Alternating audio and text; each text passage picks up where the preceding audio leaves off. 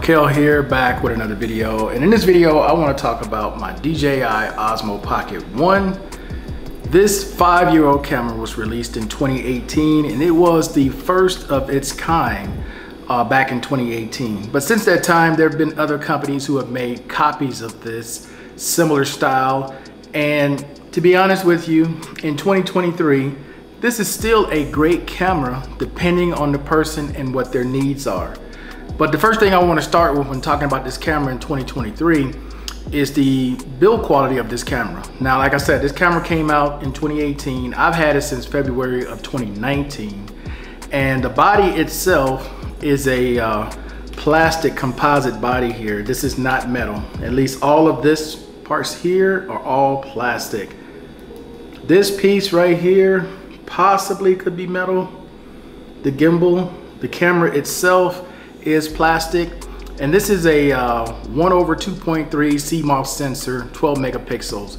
So you have 4K, standard 4K, 24 all the way up to 60 frames per second. And in 1080p, you can do uh, 24 all the way up to 120 frames per second with this camera. Now, what people really want to know about this camera is the video quality. So as I show you guys some of the video quality from this camera, I want you to keep in mind that this is the way this camera actually comes.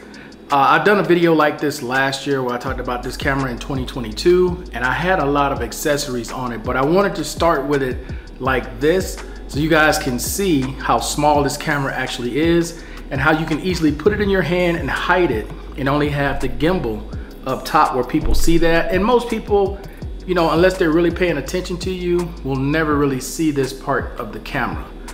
But to be honest, this is five-year-old technology, almost six-year-old technology. And there are a lot of cameras out right now that have better dynamic range, better color science, better microphones, okay? And a lot of them also have changeable batteries. That's one of the drawbacks to this camera is that it doesn't have a changeable battery. So even though I've had this camera for a long time, I honestly don't use it a whole lot. I only use this camera really when I wanna do some kind of tracking because it works great for tracking you. Or if I wanna do B-roll, while I have it on a tripod and I'll have it pointing down at whatever, I'll use it like that. But just to take it out every day and film with it, honestly, no, I don't. Which is probably why my battery has not degraded so much because I can take it out and on a full day, I can do a full day of filming on this camera. I can almost fill up a 128 gigabyte uh, memory card because the max you can put in this thing is 256. But for me, it works great. I don't film long blogs. I normally do short clips, you know, 20 second, 30 second clips. That works great for me. Now, what I would also like to do, guys, is show you like, this is the way you're gonna get the camera. It's standard, right? And then you get these two extra pieces here along with a Type-C charger. So you get a connector for lightning for your iPhone and you get a connector for Type-C. And the way this works is you would slide out this blank piece, piece right here, and then you would plug in this, and then you could attach it to your iPhone. Because what happens is you turn this on, you have this very small screen right here, which is a one inch screen, right? And it's very functional. Like you can pull this down, you can set all your settings here pretty easily, okay? You slide it this way. Any videos you have on here, you can rewatch the videos to see how you're framed up. You swipe the other way, you have your settings, uh, whether you wanna do photos or video, whatever it may be, whatever setting you wanna put it on. Time lapse, slow-mo, panoramic, video or photos, you can do that.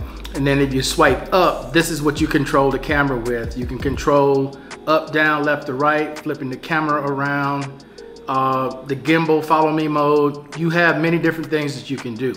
So when you when I showed this last year, right, I showed it with a bunch of accessories. And I did that because if you're a blogger and you're just starting out, because this is a very inexpensive camera now that it is almost six years old. So what I did was I got a lot of these accessories to build it up to make it more convenient to blog with. So for example, Uh, this bottom piece right here is a Bluetooth connector. So I don't have to use these small pins right here to plug it into the phone. I can just use this and go directly to a cell phone, which gives me a much bigger screen to control the camera. All right, then I can use this scroll wheel here. And these buttons on the front replace me having to use this screen where I could flip it, I can change the settings here. There's a little dial right here where I can go up and down with the camera and I turn this dial and it allows me to go left and right with the camera as well. So that's what these extra accessories are for. And then because it is a tight focal length, I believe it's uh, 80 degree field of view, it's pretty tight for most bloggers. So you would buy something like this from Ulanzi, which is a wide angle lens adapter. It's magnetic you would just pop that on there and it would give you a much wider field of view. So one last thing I have here is this connector here, which would go on the bottom of your Bluetooth. And this allows you to use a tripod and you can put this thing on a tripod stand and I just happen to have a uh, Ulanzi tripod stand here where you can take this quarter 20 uh, quarter 20 screw, can't say that right, at the bottom. You can screw this on. And now you have a complete blogging setup. Oops, that easily pulls off as you can see, but you have an easy blogging setup that you can extend, make it longer. But this is what I showed last year as a complete vlogging kit. And the microphones on this thing are pretty decent. So what I'm gonna do right now as I end this video, man, is just show you some video that I've done on this, uh, using this camera right here. And we were out having fun recently at the waterfall. So I did some video at the waterfall. I did some video while we were on the road. And I did some video while we were at the casino as well as low light. Cause in low light, this is not bad. But if someone honestly asked me, you know, if they could get this under $200, I'll be like, sure. You know, it's a great camera for under $200. But if you're looking at spending more than $200, I would say there are many other cameras that have better dynamic range, better color science, and changeable batteries that you can get instead of this that'll probably be a better buy.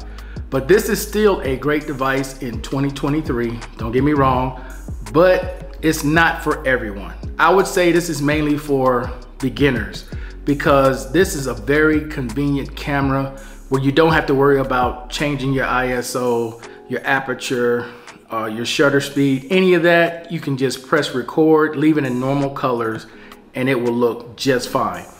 Uh, this is, is very easy for someone to just pick up and start using for YouTube or vacations or travel or any of that.